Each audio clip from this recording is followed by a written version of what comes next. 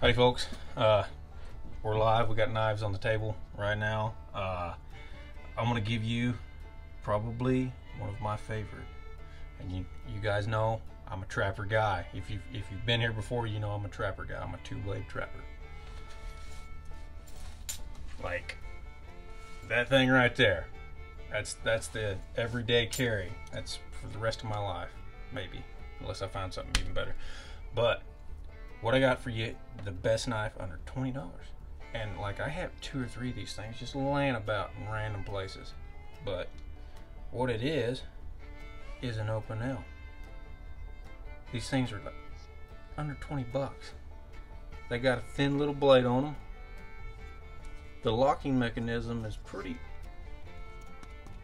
it's pretty neat. I, I, I, it's the only knife I have like this. It's under 20 bucks. And these things are just, I mean, let me get a piece of paper here for you. I mean, well, I've already cut that one up quite a bit, but these things hold a, a good edge. You, uh, my dad carries one of these around, and he'll cut net wrap off of hay bales. We're talking five by six bales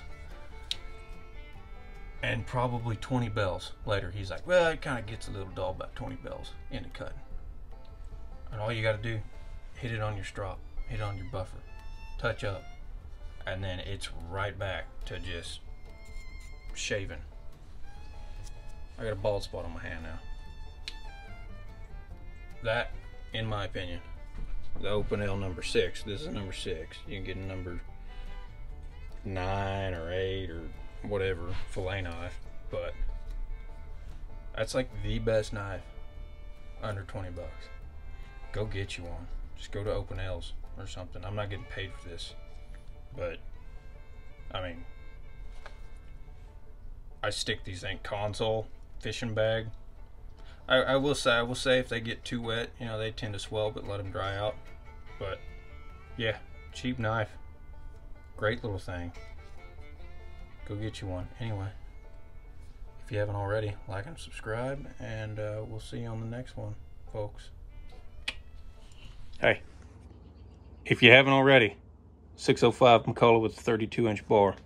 Go watch it.